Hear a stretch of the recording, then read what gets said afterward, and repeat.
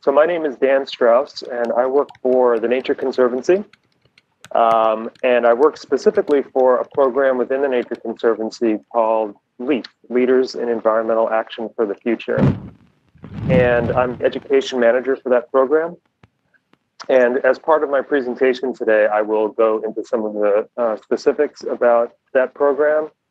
Um, but mostly this presentation will focus on some work that we've been doing, some initiatives that we've started around curriculum development, um, and then specifically uh, an anthology that we put together of uh, high school level uh, urban environmental education curriculum.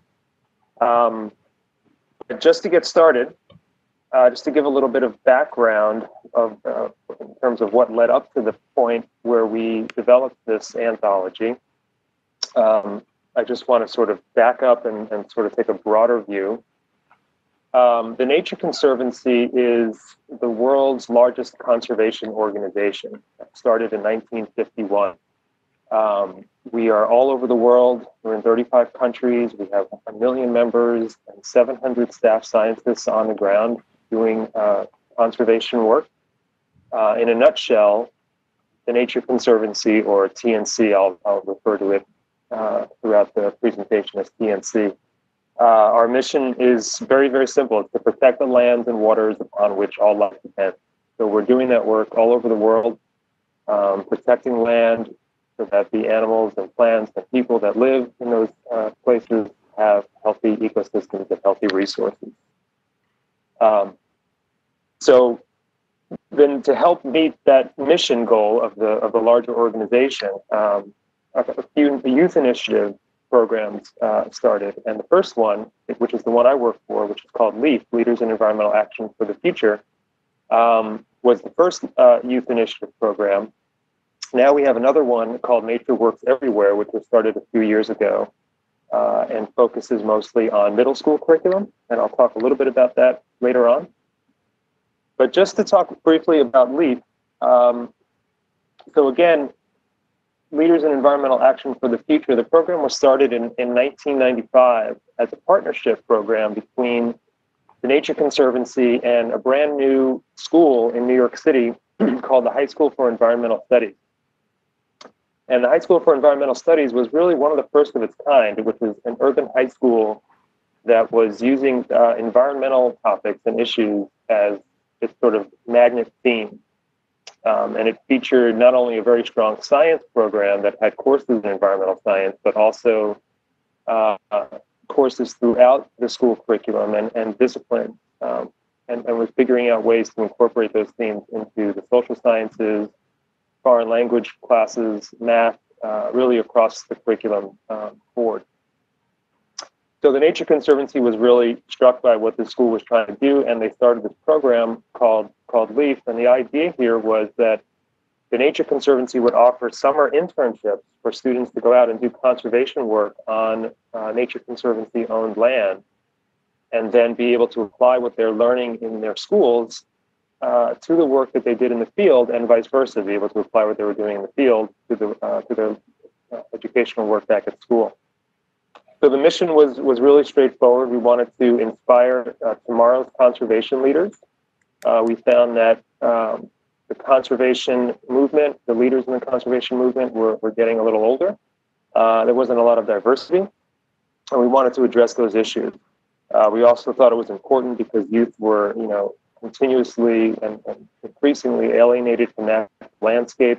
More and more people were living in urban areas, so uh, we thought that that was an important important piece to the overall conservation puzzle. Um, the model was also simple. We, we felt that the internship um, supplemented the classroom learning and vice versa, as I mentioned. And we also wanted to be able to involve the, uh, the teachers at the school in uh, the curriculum development. Um, and of course, the students benefited because they were able to live, work, and play in the natural world for four weeks in the summer. And along the way, they were able to consider college and career options uh, because we really tried to follow up with them after they did the internship to help them uh, with those next steps. So, uh, as part of that program, students go off and they work in nature preserves across the country. Uh, this year, we'll be sending students off 30 uh, states, and they're there for four weeks and they, they work they do conservation projects. It's a paid internship, very competitive um, wage for, for a youth summer program. And again, we target urban youth from populations uh, largely underrepresented in the conservation movement. And, um, and by doing so, the LEAF program is, is really training and developing the next generation of conservation leaders. So it's been a really, really successful program. And uh, it's grown. So now we don't only work with the high school for environmental studies, but we partner with uh, over 25 environmentally themed high schools across the country. Uh, and we're actually going to be growing to 30 schools um, this year. Uh, all of these schools have that same mission. Uh, they are trying to incorporate an environmental theme while at the same time meeting high academic standards and preparing their students well for state exams and an overall um, you know, very solid, rigorous academic four years and to help them get into uh, college. Um, I just want to highlight a couple of these schools um, because they are very, very unique and they're doing some amazing things and they deserve uh, the spotlight a little bit. Uh, one school is called Common Ground High School in New Haven, Connecticut.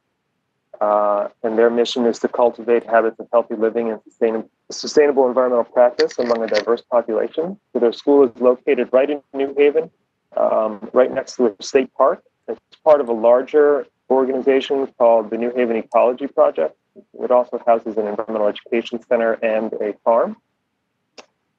Another school that we have in the uh, network is the Science and Math Institute in Tacoma, Washington, where students, uh, they're able to provide an integrated inquiry-based curriculum combining art, science, math, and environmental and marine studies.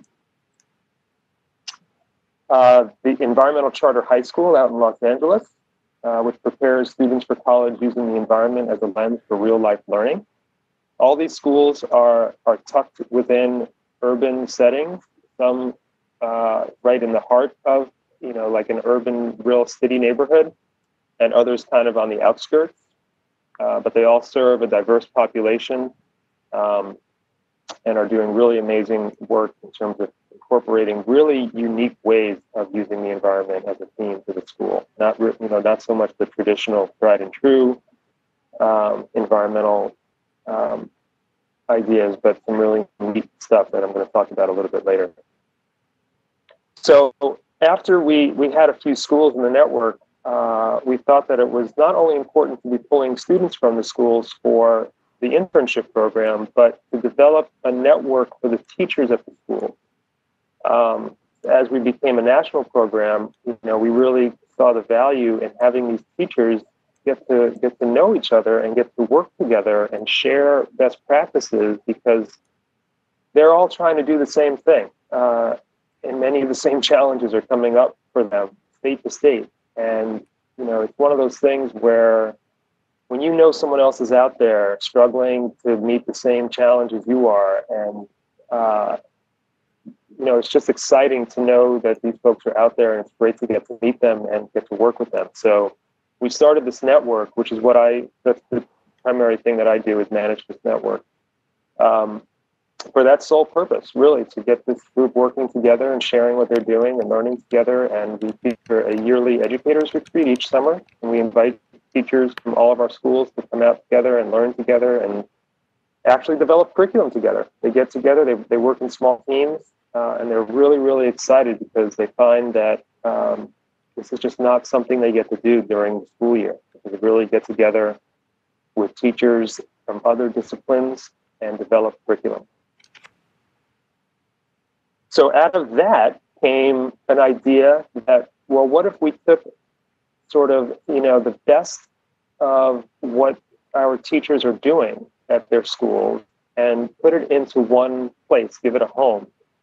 So we developed what we called the Leaf Anthology of Urban Environmental Education. And we reached out to all of our schools to contribute a lesson that they thought really met the, the theme of the anthology the mission of Leaf and the mission of their school. So it's a book and it's also online. This is what I'm going to talk about mostly today. Um, and it's a collection of lessons and projects and activities that um, that really try to address environmental issues, but in a unique way by, by looking at it through the lens of city. Uh, the lessons are interdisciplinary.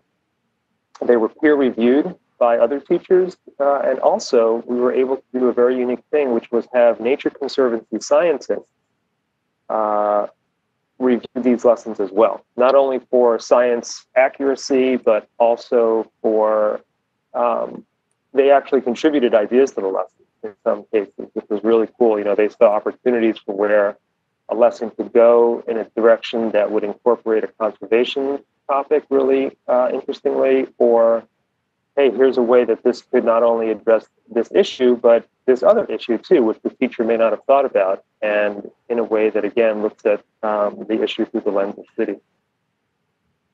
So this took, you know, this took a long time to put together. My, my job was to was to vet the lessons that came through, um, kind of search for the best ones, spend some time with them. I, I, I, was a teacher for 15 years myself, and a curriculum developer and a, a science team leader. So I was able to, uh, what I was charged with doing was to really um, into a place where they could be the best that they could be, um, whittle down to the ones that we thought were the strongest, and then um, you know edit them and get them all together and, and, get them into a form that would be really useful for teachers.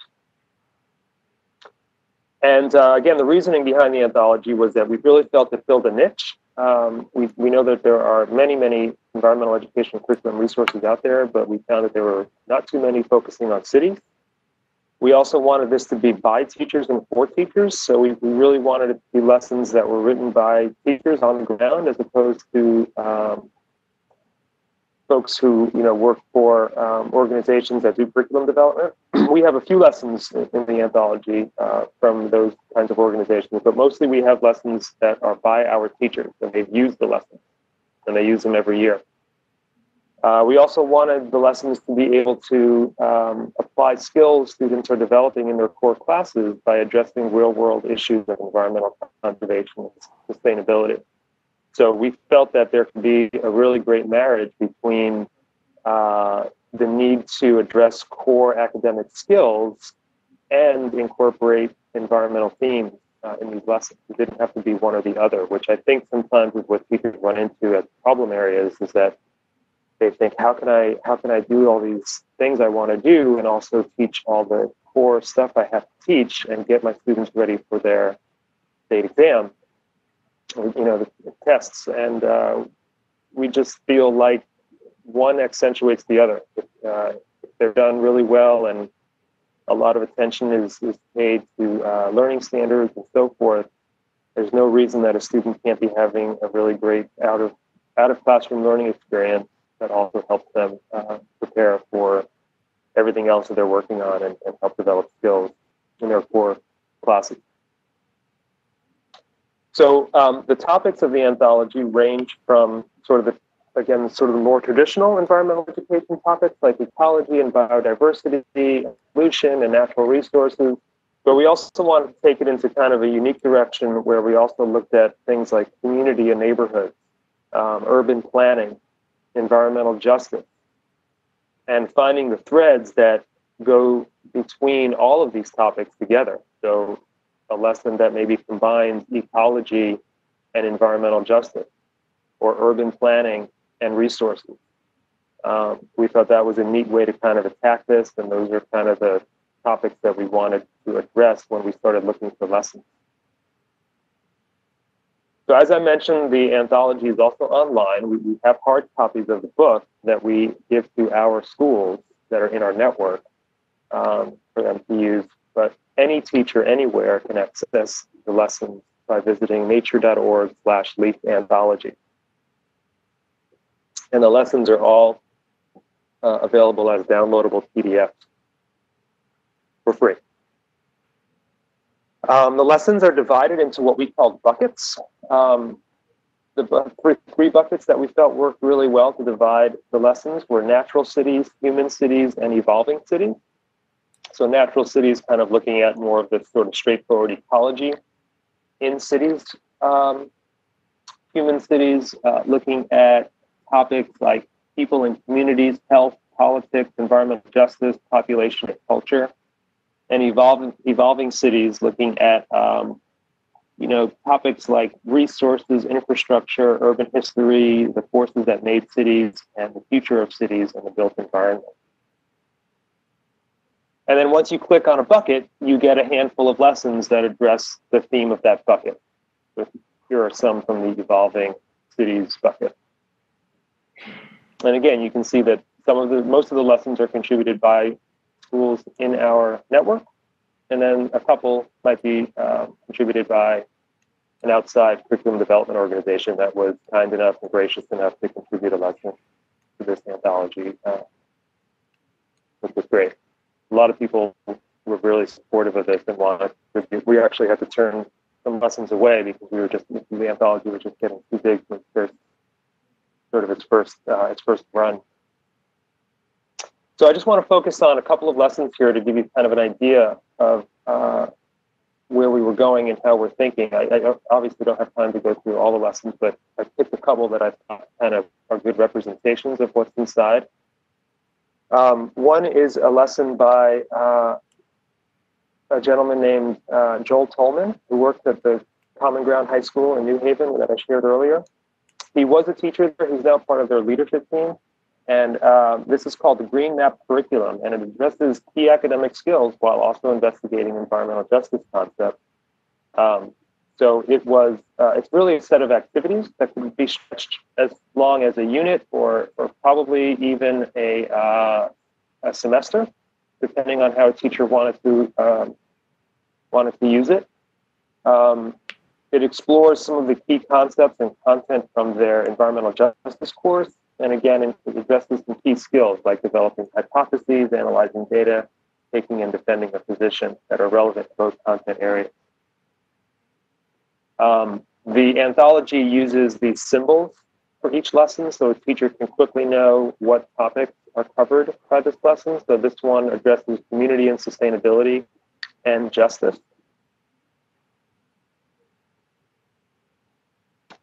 Uh, so the Green Map curriculum begins by uh, presenting students with the Principles of Environmental Justice document, which is available online, and asks them to consider some key questions about that document. What are the main ideas? What questions do you have? And uh, what does environmental justice have to do with us? It then um, segues into the core activities. After the first one, what is environmental justice? Um, it does a couple of mapping activities. The first one is called Mapping Environmental Resources in Our City, where students use an in interactive green map, which is available online. Uh, many cities have a map like this. If they don't, a student, a teacher can use Google Maps in a creative way to try to have it do the same, uh, meet the same goal. And students find out if parts of the city are full of environmental resources while other parts are empty. So kind of looking at the map of their city in terms of socioeconomics and demographics, neighborhood to neighborhood, and locating where um, where resources are found, environmental resources, parks, green space, um, supermarkets that sell uh, organic food uh, and, and more healthy options for eating. You know, where are they located? Is there a trend? Is there a pattern to these things? Uh, and also looking at environmental hazards. Uh, is there a pattern to that as well in terms of neighborhood to neighborhood and socioeconomic and demographics and so forth using something called scorecard.org, which is a website which allows a person to view maps of major polluters anywhere in the country. And then they, they culminate all that. Um, and by the way, along the way, they develop hypotheses. So they, they develop a skill of forming a hypothesis uh, before they do their, um, their mapping research and they take all that data and all everything that they've learned and then apply it in the last part which is called pursuing justice and students were able to share the result of their investigation while practicing their per- persuasive arg- argumentative writing skills and considering how to enact change so you've got a lot of things going on here you know you've got straightforward science looking at where resources are located uh, city planning looking at how a city develops itself in terms of its resources and green space and so forth You've got your social science stuff happening, and you even have some English language arts uh, things for the end when students are able to develop um, their writing skills and uh, tools of making um, arguments and so forth. We asked each teacher who submitted a lesson to write a paragraph uh, that we called urban relevant so that it would become, you know, so that it was obvious right away to a teacher why this lesson is unique to the idea of looking at environmental issues through the lens of city. So you can read here what, what this teacher wrote um, for this lesson, thinking about how, uh, although you know environmental justice problems happen all over the all over the world and in all kinds of different uh, settings, cities are focal points because of the large disparity of available resources from neighborhood to neighborhood and the high populations of low-income residents and people of color um, becoming aware of how we perceive this in cities where we live, looking at the realities of environmental equities, forming opinions, and taking action are critical to everyone. So each lesson comes with that section. Um, I, I, guess, Alex, you had mentioned earlier that you wanted me to make it okay if people wanted to ask a question along the way. So I just wanted to mention that to folks. If you do want to type a question in the chat box along the way, that's, that's totally great. Um, but if you wanted to wait until the very end, I know we, we have a Q&A um, time allotted at the end. So another lesson um, is from our school in Los Angeles, Environmental Charter High School, by a teacher, a former teacher named uh, Amanda Brewer, who is now their assistant principal. Um, it's called the Two Bucket Garden. using uh, the focus is using systems thinking to investigate where food comes from. So students in this lesson, um, they construct their own self-watering container system to grow edible plants. They address issues related to systems thinking while participating in food production. And they develop a more realistic view of the food system while teaching important concepts of sustainability. The urban relevance here is uh, this is what the teacher wrote for that section. The closest that many young people living in cities get to the origins of their food is the local grocery store. Being so far removed from agricultural operations, they may have a hard time fully appreciating the complex web of processes and relationships that bring food to their table. So they learn that a sustainable food system encourages local production and distribution and ensures that nutritious food is affordable and accessible to all. Um, the symbols for this lesson are farm to table and community and sustainability. So again, it teaches could quickly get a sense of where this lesson is going to go and what they could address with it. A series of activities here as well, uh, including an introduction to systems thinking, that all systems have inputs and outputs and all systems need the support of other systems to operate. So a little bit of science and social science there. Um, this is a really hands-on construction-based project because the students get to actually build this self-watering container. Um, they choose and plant the crops they're going to use, and the importance of crop diversity is stressed here. So you, again, you have some important concepts of ecology and permaculture at work. And finally, incorporating ideas of looking at global and local food systems. Um, teaching students and, and helping them develop the skills of being critical thinkers about food, food production, their own neighborhoods, the availability of food in their neighborhoods, and the complexities of food production and why there's so much more involved than just going to the local bodega or grocery store and grabbing what you need. Unique school, tucked in a neighborhood, um, but the school itself the campus is just really extraordinary. They have a, a small farm of their own, uh, less elaborate than Common Ground, uh, but the whole school is really, you know, it's just it's part of the classroom. Um, the way that they develop the campus and, and use the community that they're in really makes it a very holistic um, overall learning environment. We also wanted to include a section on citizen science in the urban environment. Citizen science is such a powerful tool um, for authentic science learning. Where uh, if you're if you're not too familiar with citizen science, it's just the basic idea that anybody can be part of a scientific scientific process and scientific data collection by just being out there in their communities or, or wherever they live and collecting data that scientists can use to um, do the work that they're doing. So if you're out and you see a, um, a particular bird species that you've never seen before in your park, you might call up the Cornell Lab of Ornithology and say, "Hey, you know, I I saw this bird today in in Brooklyn, New York, and I didn't know that they were here." And uh, person from the Cornell Ornithology, uh, Ornithology Lab might say, "Wow, thanks. We didn't know that either. Now we'll add that to our data." Um, and then that person just was a citizen scientist. So students can be student scientists, and it's a great way for them to get involved in real data collection for real scientists. So this lesson is called Invasive Species Tracking, developed by Jennifer Dean of the New York Natural Heritage Project.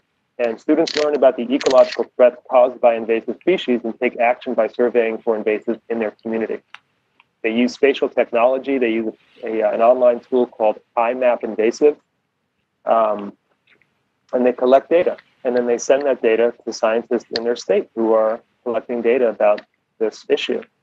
Uh, this one particularly focuses on the Asian longhorn beetle, which is an invasive pest that is affecting trees in New York City and other areas in the Northeast. So students collect the data in a sheet like the one that's there, and they submit that data to scientists. Um, and we know we just really feel like citizen science in the urban environment is such an important thing because uh, these lessons and activities help reinforce that environmental science happens in the city. Um, this is, you know, there's kind of a stereotype, I think, of environmental scientists that work, that they're out in non urban areas and they're sitting in uh, tall grass with a notebook and they're watching uh, antelope prance across grassland or something. You know, a, a student who lives in, an, in a city might think that that's really cool um, but may not be able to see a pathway to that um, to that being part of their life, just because it's such a, a foreign visual. Um, so citizen science in the urban environment gives students the opportunities to do that kind of cool work right in their communities and their neighborhoods and to see uh, maybe a more realistic pathway to a career like that. So here are some pictures of students doing some citizen science work in, uh, in New York City and in New Haven, Connecticut. Um, the anthology closes with um, a section featuring some articles that are sort of reflections about urban environmental education and why it's important. Um, some ideas, some project ideas, some lesson ideas, some, some really touching and, and um, thought provoking stories of students um, encountering nature in their cities uh, and how unique that, that can sometimes be. And just a quick overview of some other lessons. Um, I think there are about 25 lessons in the anthology, but here are just some, other topics that are covered. Um, you can get a sense of what else is in there. And there's actually, you know, much more than that even, but I just wanted to give you a, a little bit of an idea. So again, you know, this, the, the, lessons offer students the opportunities to learn um, to, to develop their science skills, their social science skills. Uh, math is worked in here. Um, they're able to uh, use spatial technology. Um, really, really neat stuff. Some of the lessons focus on what they can on, on projects that they can do right in their school that help the school community, and then as an offshoot, help their larger neighborhood. Um, so it's really, we think it's really a unique, uh, a unique take on the uh, environmental education curriculum landscape. Now, just briefly, I wanted to mention another um, another uh, initiative that the Nature Conservancy has developed called Nature Works Everywhere, bringing nature into the classroom. Um, this uh, is a website that uh, helps students learn the science behind how nature works and how to help keep nature running strong by giving teachers, students, and families educational tools that align with national standards. So teachers can find free lesson plans here videos on conservation science um, and videos on how nature works for for us. And, and those lessons are available at natureworkseverywhere.org. These lessons are designed for middle school, but they are um, they're really high level lessons, I think, for middle school. So I think they could very easily be adapted to uh, high school as well. These lessons come with a little more bells and whistles than the uh, anthology lessons. The anthology lessons are just uh, straightforward um, PDF downloads. These lessons are a little more interactive. They come with a PowerPoint presentation and a video as well as a lesson plan. Uh, we wanted to be sure that both both initiatives, the anthology and the um, and Nature Ever, Nature Works Everywhere, aligned to national and state learning standards. uh, including the Common Core, the Next Generation Science Standards, and also um, the NAAEE Excellence in Environmental Education Guidelines for Learning, K 12. So we went through lesson by lesson, and we, um, where a lesson addressed a standard, um, we made, you know, we were able to make that connection. The next generation science standards came out after some of the lessons were developed. So we went back and we found where the new these new standards matched up um, in certain in certain of in, in particular lessons.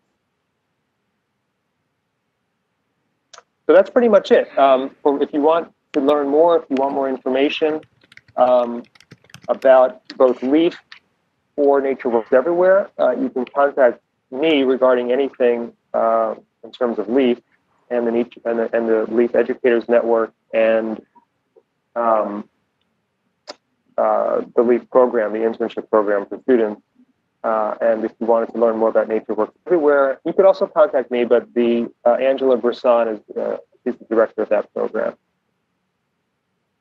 I'll just leave you with this, this quote um, that I think just really nicely captures uh, what the mission of um, both of these initiatives is about. This comes from our uh, the Nature Conservancy chief, uh, Nature Conservancy's chief scientist Peter Kareiva.